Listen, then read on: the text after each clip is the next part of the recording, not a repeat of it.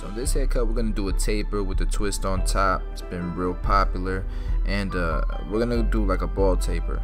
Ball taper, fade it up. He's gonna keep his sideburns and uh, we're gonna fade it right into the twist on top. So I'm gonna start off with my Andis Supra ZRs. These are detachable clippers, rotary motor, cut through anything. I like to use these for balding because I, you know, with the trimmers, I don't really want to waste waste the sharpness of the blade you know, the more often you use them to cut things, the um, the dull, the faster they'll get dull. So I use my outliner blade or the 5-0 blade. You could shave somebody's face with these with these blades. It's probably a more comfortable shave than scratching them with the, the trimmers too. You see, that's my initial guideline. And we're gonna lower down the sideburns with the um, Andis Masters all the way open. And from there, we'll go right into our initial, uh, our second guideline. Going like right above where the where the ear is.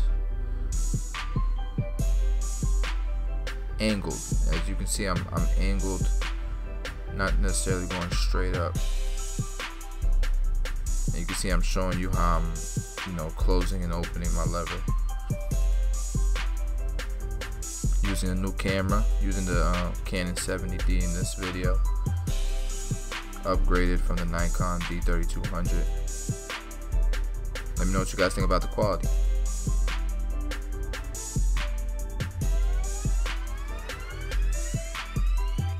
And with this texture of hair, you don't have to go, you know, all the way to a 3 or a 4 and then clipper over comb to blend on the sides.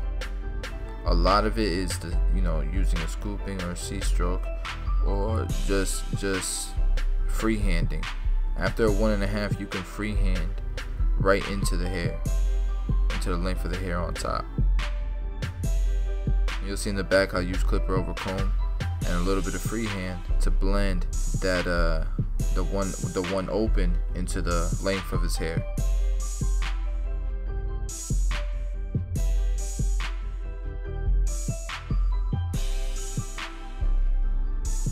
See as I'm opening my, my lever as I go up every quarter inch.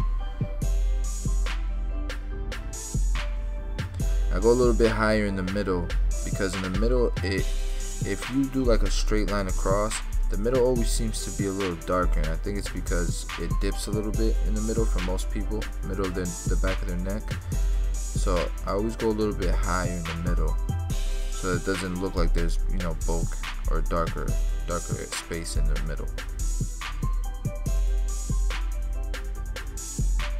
number one open like I was telling you guys. And after this you can either freehand it into the um, the length on the top or you clip it over comb it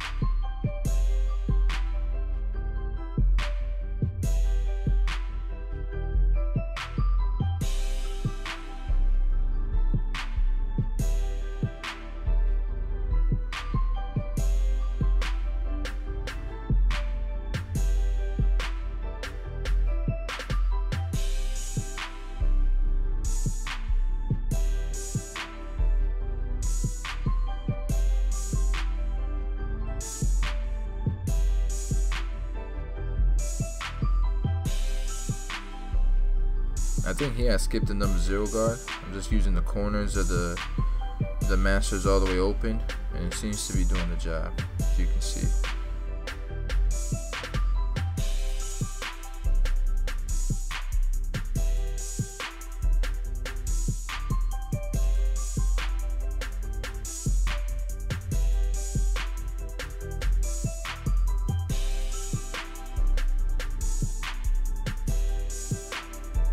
I get a lot of these haircuts, man. I'm, I'm surprised I haven't done a tutorial about this sooner, especially since it's so popular right now. But I mean, here's the here's the first one.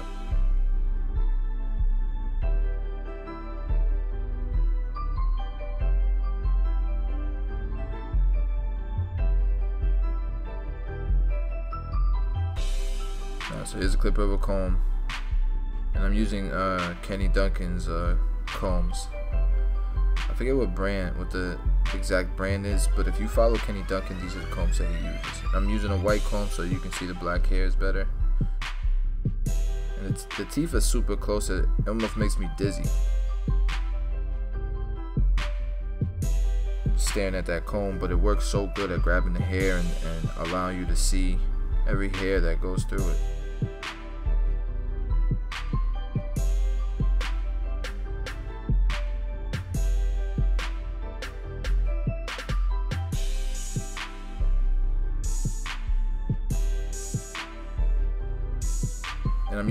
Almost like if, if it was a guard. I can tell exactly how much hair I'm cutting off with this comb, as you can see, and it's, and it's blending the hair.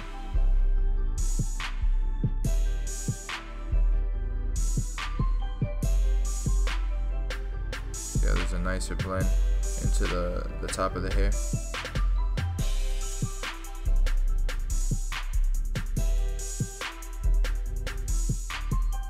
If you angle the comb as opposed to putting it, you know, straight in, if you angle it a little bit, it won't leave any hard lines, and it's almost like you know using the corners of your teeth on a guard.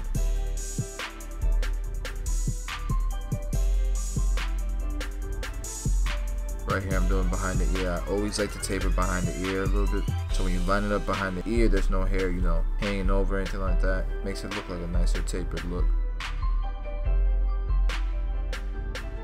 Doing the same thing we did on the other side um, of the taper. We're doing it here on this side.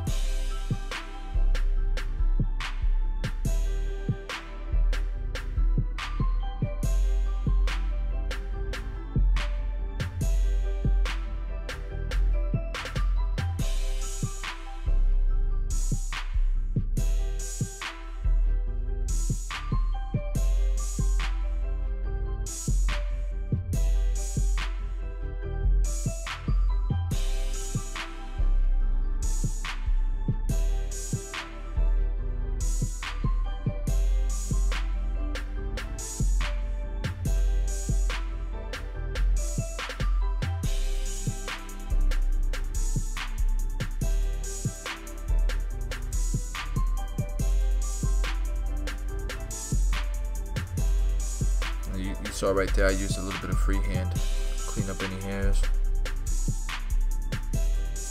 Corners of the teeth. I think haircut is more you know if you think of it as sculpting as opposed to you know following a system so much following guidelines and being afraid to go up and all that stuff just think of it as sculpting to the, the shape of a person's head and what you want that look like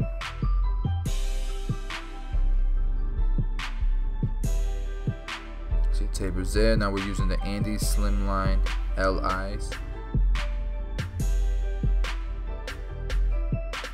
Switched over to my LIs because my pros, the blade broke on the on the pros. These these slimlines break very easily. I will tell you that, man. Andis, please fix that. Why do they break so often? The blade for no reason. I'll use it, put it on my on my station, go to use it again, and it's missing a tooth. Didn't fall nothing. The buttons break, but I love them, man. It's a love-hate relationship with me and these slim lines.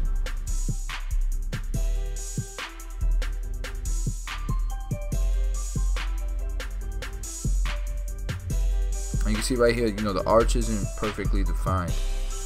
You know, somebody that we recently interviewed in the podcast, Jesus. Um, I was at I was at his shop and he was giving advice to one of the barbers who was trying to zero gap his blade.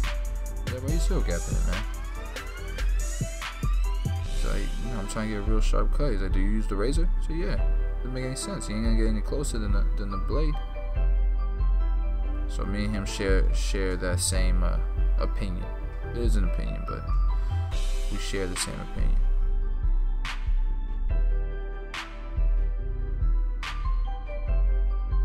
Now we're gonna put the razor on it. You don't get no closer than this.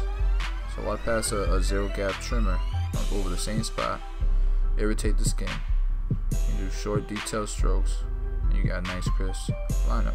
And it saves you time.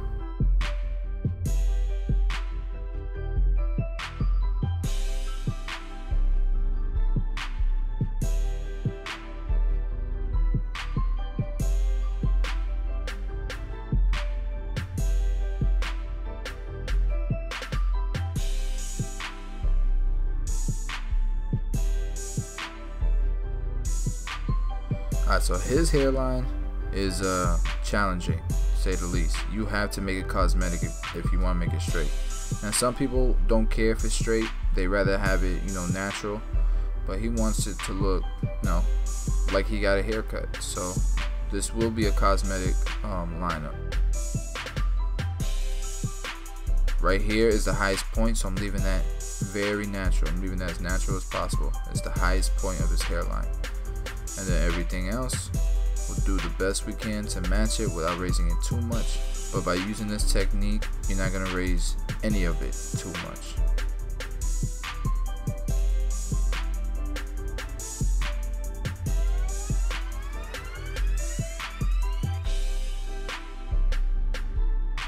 I'm constantly making him look straight at me with my body um, directly um, towards him.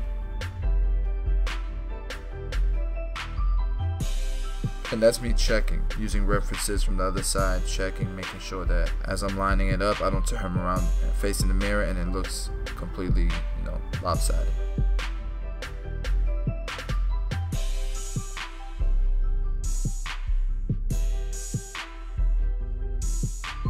And obviously, you know, if somebody has a challenging hairline, spend a lot of time there. You know, spend time there. It makes them feel like you actually care about how it comes out. And for people with challenging hairlines, if you can, you know, get it right without doing too much damage, you'll have a client for life. Because most barbers ain't gonna take the time in that aspect.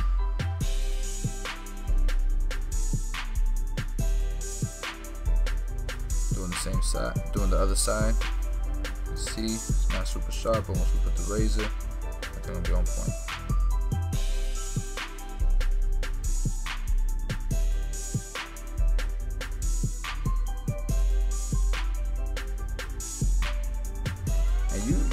Things up. You can freehand with trimmers. Don't get it twisted that trimmers are just for lining people up. Trimmers are for trimming. So you know you can you can freehand with the trimmers too. So you'll see that I'll turn that the trimmer around sometimes, especially behind the ear, and kind of freehand and clean it up. Get any of the you know loose hairs that are hanging over.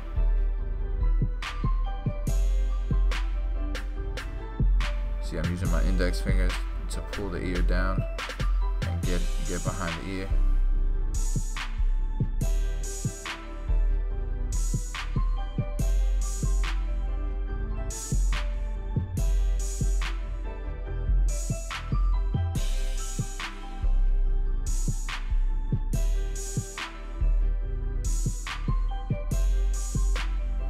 you you can use you know these are double edge razors and the push cartridge razor handle made by Philharmonica the only there's you know I can use a few different blades. I like the Personas the Dorco Primes. I like Astras. I don't like Derbies for nothing. Derbies are terrible in my opinion.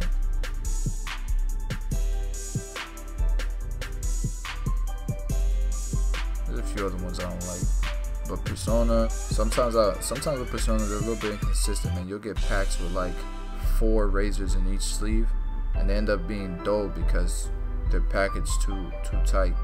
But if you can get a good pack, a good hundred pack of the Personas, they're the best. Then I would say um, it's close between the Astras and the Primes.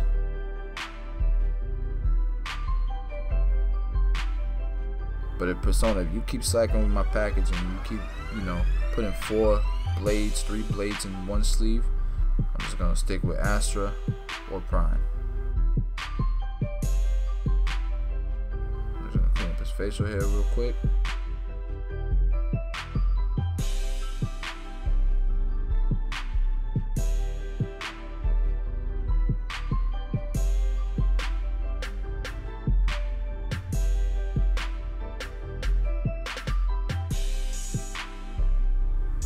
and you know, I use the razor on everyone. You know, very, very rarely you'll have somebody who has like a severe, um, skin um, sensitivity. I've never, I've never had any problems with a customer as far as bumping and stuff with razors, and I cut. I'm, I'm very, my, my clientele is very diverse.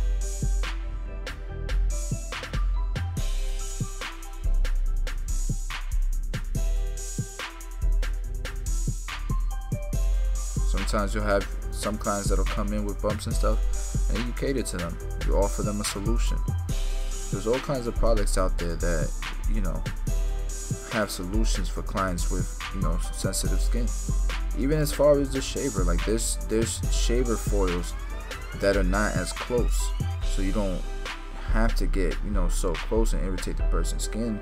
You can switch the shaver head to a um, one that doesn't shave so close, and that'll prevent bumping for them as well.